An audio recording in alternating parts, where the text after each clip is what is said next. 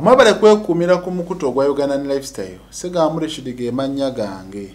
Abel uh, ndibalema ono nono yagenda maaso n'okubeera ng'afera uh, musiga nsimbi amanyikiddwa nga gokdemil mesut. 0 musanvu 0 emu kyenda mu mukaaga nkaaga mu munaana ataano mu bbiri. Kujjanjaba abalwadde ba ausas pressure sukaali kussa n'omugejjo. Abaami abatanyizibwa ku nsonga z'ekisenge amunaye tokaaba eddagala bwe lirya abo n'obwobwere bwanga lijja kubeera nga likutuukako.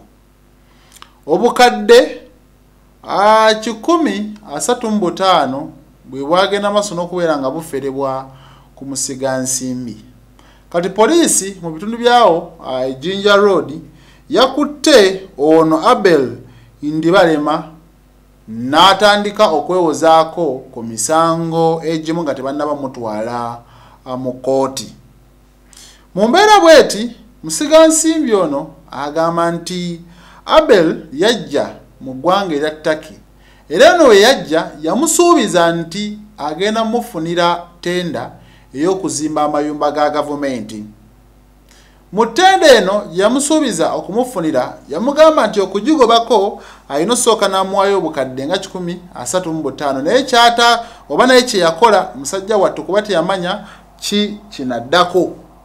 Mu kuzimuwa ono yajingirira lisiiti era n'ajingirira n'empapula.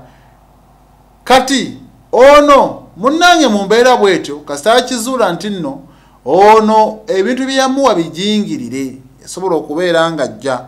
Kati abel buli we bamugambanga nti munnanga akasente wanfeera kino nakino nakino nga mutiisatiisa nti ajja mudipootinga amuzeeyo ettake. Kale ono musiga nsimbi yalabye guli gutyo naye neyeekubira enduulu ku poliisi eyasobodde okubeera nga etekinga action mu mbeera bweti. Byebyo nze segawa mulekidi